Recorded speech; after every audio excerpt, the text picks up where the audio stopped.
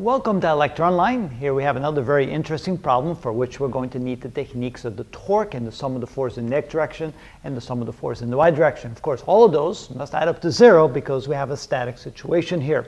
We have a beam of a particular length. They don't tell us what the length is. Uh, it has a mass of 250 kilograms and it's being held on one end by a string attached to the ceiling and on the other end it's touching the floor and let's assume that the friction between the floor and the beam is equal to zero. Probably it's never actually equal to zero, but it's close enough so we don't have to worry about it. Let's say it's a slippery, slippery floor, a smooth surface on the beam, so that the reactionary force from the floor to the beam has to be perpendicular to the floor because there's no friction force there. Assuming that the beam is held up at an angle of 40 degrees with the horizontal, and let's say that the angle between the cable here that holds up the beam and the beam, the direction of the beam here, that, that's 160 degrees, which of course means that this angle down here must be 20 degrees. What we're trying to find here is we're trying to find the tension in the cable and we're trying to find the force here, the reactionary force of the floor of the floor back towards the beam. That would be the normal force right there. How do we do that? Well, what we can do is we can employ the concept of the sum of the torques being equal to zero. We just have to find a good pivot point. And since we don't know anything about this force on the force on the floor here, let's pick our pivot point at the end of the beam. Now we have to recognize all the forces that cause torques about this particular pivot point. Well, one will be the tension in the cable here, which is directed in that direction. And this would be the line of action of the force of that cable. The second force would be caused by the weight of the beam. We find the halfway point, assuming that has uh, equal dimensions, uh, that it's uh, has equal density and equal dimensions, and so we can say that the center mass would be right at the halfway point, and this would then be the mg of the beam, the weight of the beam. And now we're ready to solve the problem. We're going to use the equation that the sum of all the torques add up to zero. 0 therefore must be equal to, well, it would be the tension, and the tension would cause a counterclockwise motion about this particular pivot point. Since the tension is, is, pulling the beam in this direction, it would cause the beam to rotate in a counterclockwise direction, which we call positive.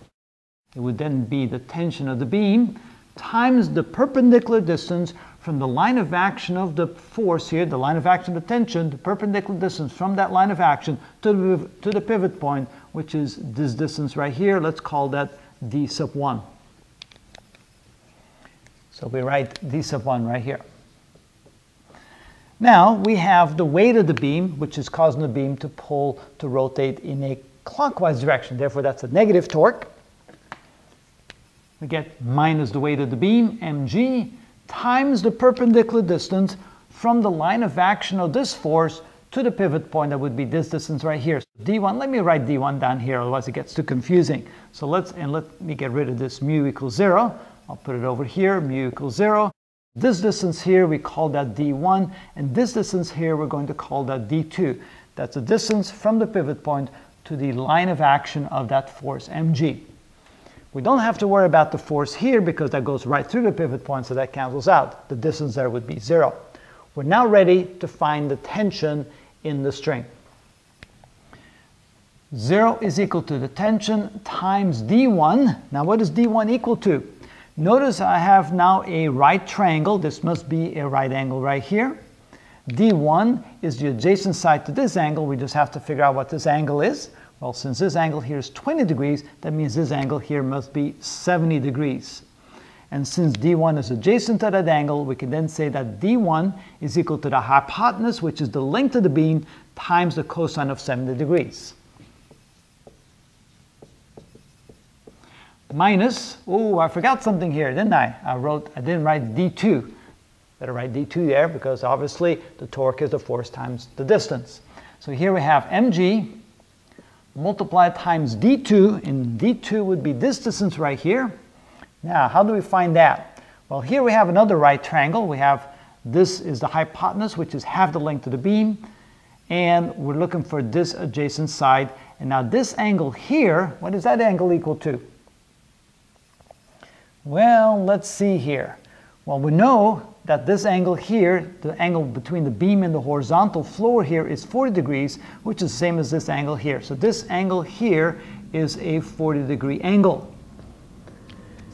And D2 is adjacent to that angle, which means that D2 must be equal to half the length of the beam times the cosine of 40 degrees. Sometimes the way the drawing is drawn, it's so small, it's so difficult to see, sometimes helps to redraw it on the side. So let's do that. So here we have the beam. Here we have the horizontal floor. Here's the halfway point. There's the MG. And we're looking for this distance right here, which we called D2. We're knowing that this angle here is 40 degrees. And you can see there that this is L over 2. That would be half the length of the beam. That means that D2 is equal to half the length of the beam times the cosine of that angle, the cosine of 40 degrees. That's where D2 came from. And if you now look at the angle, if you look at D1 here, you have this triangle. Uh, yeah, let me make it a little bit more at an angle. Here we go, there we go, and there. That's this triangle right here. Notice that this was D1. There's a hypotenuse, the length of the beam. And this angle here you know that this angle plus this angle must add up to 90 degrees. Since that's a 20 degree angle, this must be a 70 degree angle. And therefore, we can say that D1 is equal to the full hypotenuse, which is L, times the cosine of 70 degrees. So that's where D1 and D2 came from. Case it's hard to see right there in that small triangle. All right, next we can now solve for t because you can see here that the L's cancel out. This becomes 1 half and this becomes 1 t times the cosine of 70 degrees must equal this when you move it to the other side. And of course, we flip the equation around. That gives us mg times 1 half times the cosine of 40 degrees.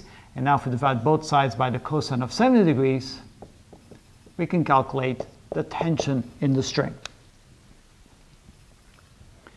Mg, what was mg equal to?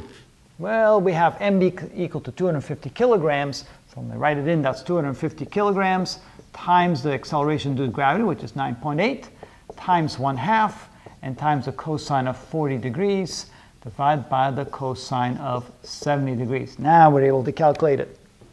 250 times 9.8 times 0.5 times the cosine of 40, and divide that by the cosine of 70, and I get 2,744 newtons. T is equal to 2,744 newtons.